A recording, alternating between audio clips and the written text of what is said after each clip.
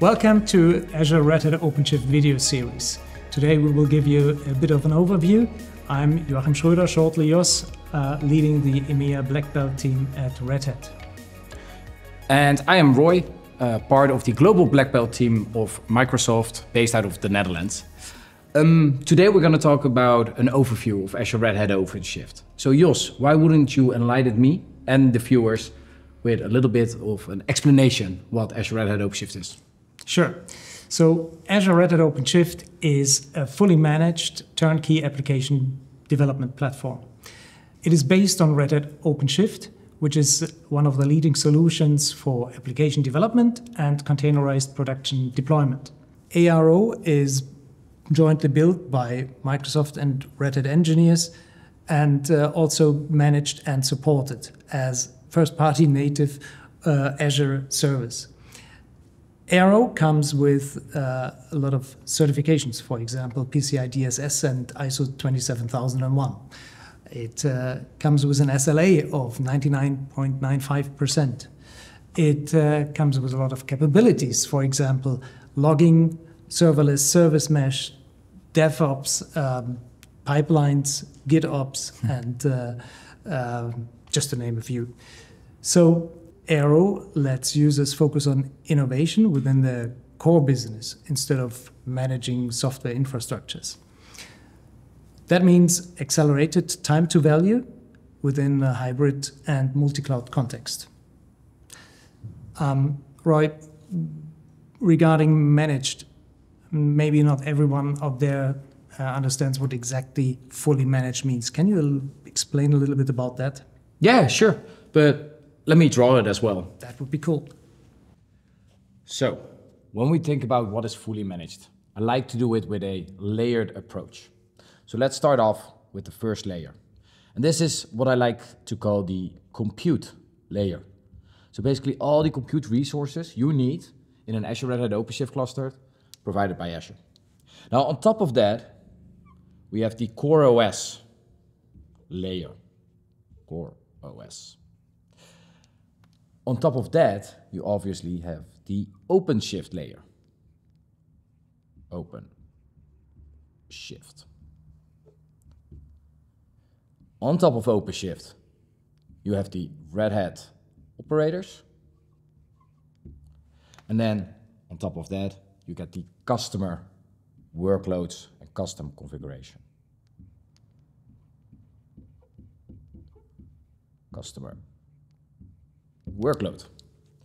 Now, if we're going to look at what is fully managed and what do we take care of, it's obviously the compute layer right? If you need additional compute, everything that you need to have to run this OpenShift cluster, managed by Red Hat and Microsoft. But also CoreOS, right? The operating system designed to run OpenShift workloads. OpenShift itself, and then the supported Red Hat operators that you can include in the OpenShift cluster. And for me, this tells the story about what a fully managed OpenShift platform means and what you can expect with Azure Red Hat OpenShift. So I hope that explained it a little bit with the different layers and what we mean with fully managed OpenShift. Yeah, absolutely. That was cool. Thanks a lot. Um, when we talk about the service, how about resources? Are they dedicated or shared? Sure. Yeah, good question. I get that question uh, a lot from customers. What we actually do with Azure Red Hat OpenShift is that we have dedicated resources in your own Azure environment. So you're not sharing any of those resources. You decide which compute you need for your cluster to function. The other cool thing as well is that you can think about a hub as spoke networking model.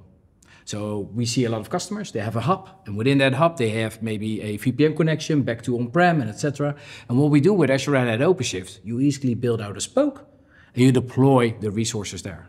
No noisy neighbors, and it's fully under your control and your governance, right? So um, I think that's very key for customers who are leveraging Azure Red Hat OpenShift, that they are in control of those resources and not sharing that with any of our other customers that are using an Azure Red Hat OpenShift environment as well.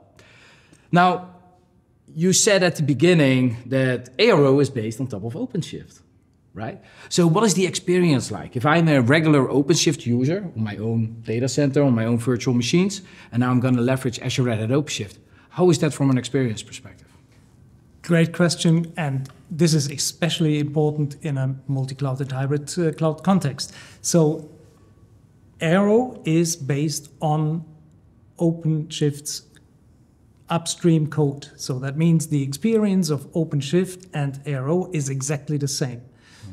With that, ARO brings the OpenShift on-prem experience to the Azure cloud. Oh, that's really cool. So if I'm used to running OpenShift, I can run, run it everywhere as in a fully managed Azure environment. That's very cool. Absolutely. Cool. Um, maybe people think, uh, well, okay, if this is offered as a service, there is usually a very opinionated flavor of the software stack being offered, and you can't change a lot. So, what about customization of ARO? Yeah, good question. Um, I think with Azure Red Hat OpenShift, and especially if you look at the deployment options that you have, you can actually do a lot of customization. I just talked about the hub and spokes model, custom VNets and stuff like that from a networking perspective. But also think about custom domains or even choosing which type of worker node you want to use. Maybe you want to do CPU optimized or memory optimized, or maybe GPU nodes, etc., etc., etc. So I think from a day one and a deployment perspective, there are lots of different things that you can modify.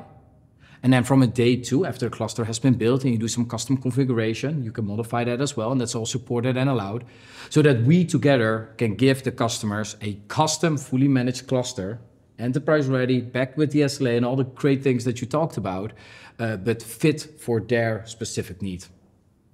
Now, let's say that I'm a customer and I'm happily using Azure Red Hat OpenShift, everything is going great, but at some point in time, something is going on with the cluster. What do I do then? At your convenience. You can either contact Microsoft or open a, a request with uh, Red Hat. We work crossover in the background to make sure that your uh, experience is as seamless as possible and your blocker gets resolved as soon as possible.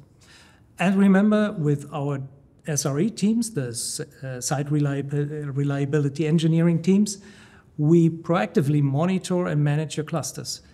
That means you will less likely need reactive support anyway. Cool. Oh, that's really, really awesome.